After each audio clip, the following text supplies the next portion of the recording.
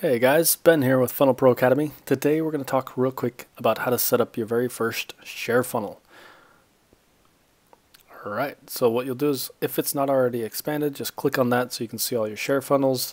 A lot of these ClickFunnels accounts come with multiple uh, share funnels just to get you started.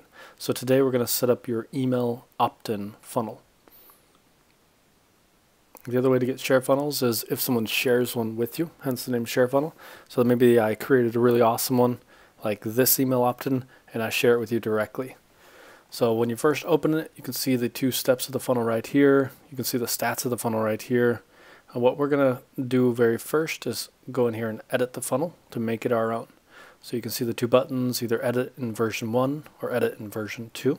If you don't have the edit in version 2, all you have to do is click on the chat button and contact support. Say, yo, I'd love to try out the new editor. Uh, I like it just because you can edit it in the mobile, or you can, yeah, you can edit it in mobile version. Makes it a little bit easier. right here, you can see what your funnel looks like uh, on a cell phone.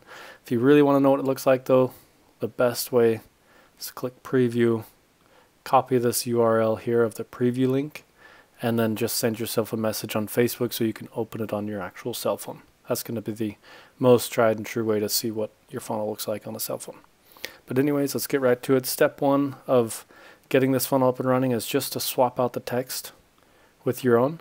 So because ClickFunnels is awesome, all you have to do is click on there and you can type in whatever words you want to make it your own. So just go ahead and swap all the text and images out with your own.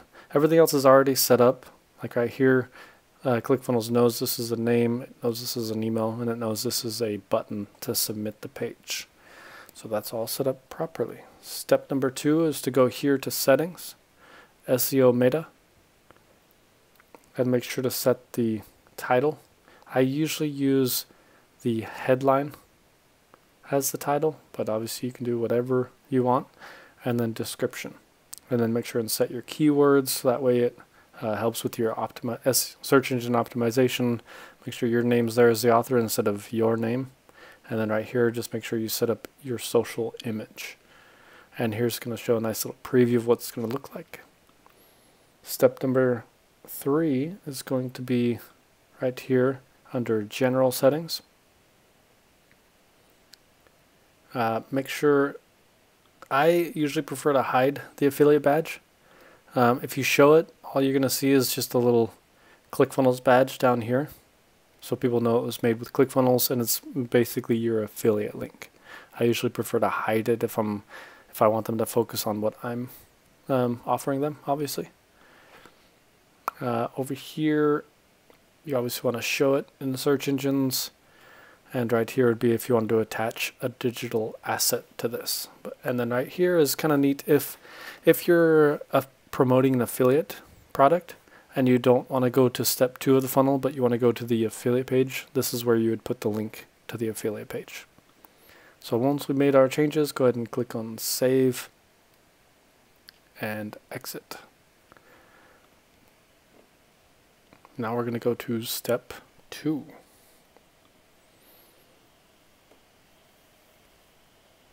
Same thing, go ahead and click on edit page.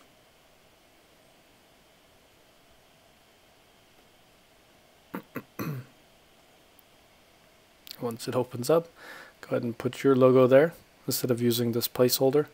The way you'll put your logo there is just click on the image, click to upload, upload your logo and add image. Then you'll have your logo.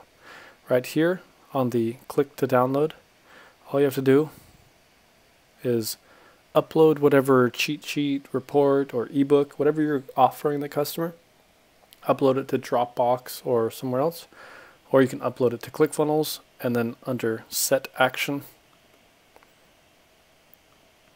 go to website URL and just type in the link for whatever it is you're offering them. Alright, if you upload to Dropbox, you can Google how to do that. Same with the other things. If you wanted to upload it to ClickFunnels, I'll show you how to do that real quick since we're done setting up the funnel.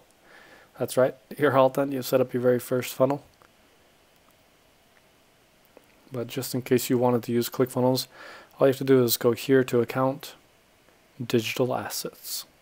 Pretty awesome. And right here, add new asset, name, awesome report, if I can spell. Upload your file, max is 3 megabytes.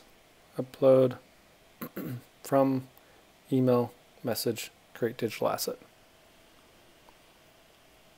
And you're done.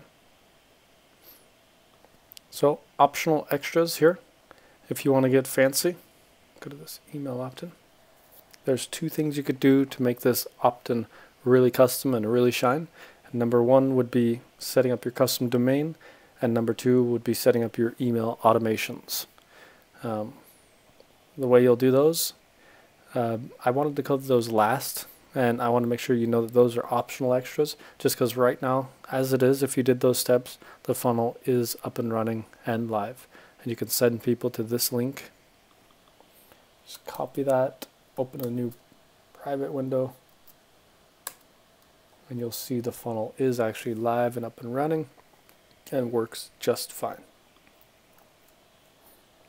But, as I mentioned, if you want to get fancy, the way you'll set up your custom domain and email automations, instead of me taking an hour to explain it here, you go to Help and Docs and just type in, if you use Aweber, type in Aweber, integrating with Aweber. If you use MailChimp, MailChimp, there you go. And so they basically walk you through step by step how to integrate it with your autoresponder, whatever you're using. Um, no matter which autoresponder you're using. And if you can't find yours on the list, just contact them here at support and they will get you taken care of. The second optional extra is the custom domain.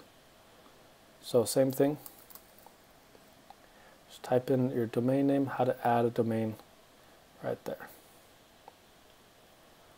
We'll type in add domain. There you go. So you, it'll walk you through step by step how to set up your custom domain. If you have any questions, feel free to reach out to me. Again, my name is Ben with Funnel Pro Academy. Thanks, guys.